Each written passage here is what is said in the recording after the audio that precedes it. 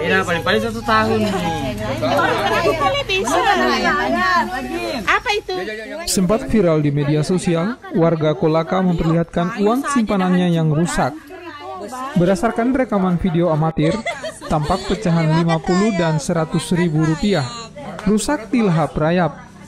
Simpanan uang senilai 15 juta rupiah ini mengalami kerusakan parah seperti robek dan bagian uang sudah tidak utuh lagi.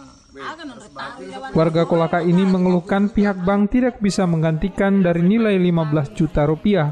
Bank hanya menggantikan 900 ribu rupiah. Menanggapi hal itu, Bank Indonesia Perwakilan Sulawesi Tenggara membantah jika uang rusak tidak bisa diganti. Namun syarat uang rusak dapat terganti, kerusakannya hanya mencapai 67 persen.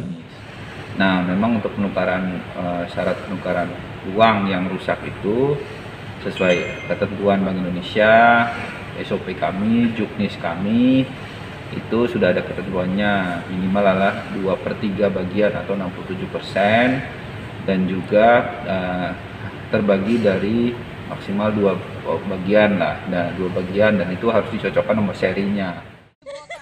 Bank Indonesia Perwakilan Sulawesi Tenggara siap menggantikan uang rusak warga Kolaka tidak lebih dari 2 per 3 dan menggunakan alat sistematis yang ada di Bank Indonesia.